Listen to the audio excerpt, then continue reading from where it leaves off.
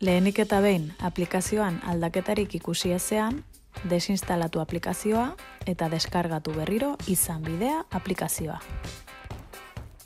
Ondoren, sartu zure izena eta pasaitza.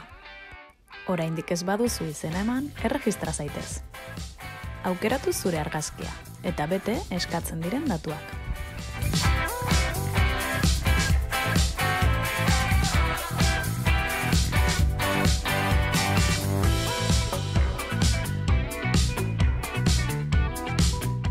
Ez ahaztu profila argitaratu botoia aktibatzea. Barruan zaude, orain, has gaitezen menua errepasatzen. Bilatu profila atalaren barruan, zure inguruan ezarritako datuak ikusi eta editatu ahal izango dituzu. Eskuineko arkatzari klik eginez. Baita, profila aktibatu eta desaktibatu ere. Atal honetan, jarraitu ditzakezun kideak ikusteko aukera ere izango duzu. Honela, zure inguruko lagun edota atsegin dituzun taldeak jarraitzeko aukerak eta egin ahal izango duzu.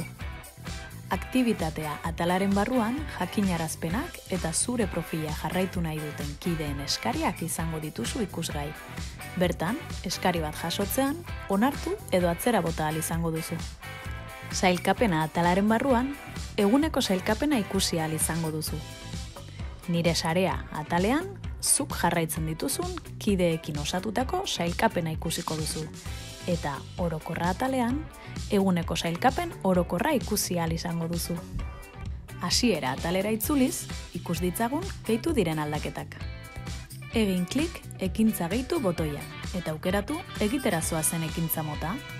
Arraunean, bizikletan, igerian, korrika, oinez, patinetan, aukeratu zure ekintzarekin identifikatzen duzun ariketa edo ta gehitu eskuz, zure kilometro kopurua. Eta ez ahaztu, amaitzean gelditu botoiari eman. Prestaltzaude kilometroak gehitu, kideekin lehiatu eta talde ekimenetan parte hartzeko, eguneratu zure aplikazioa. Jarrai dezagun bidean.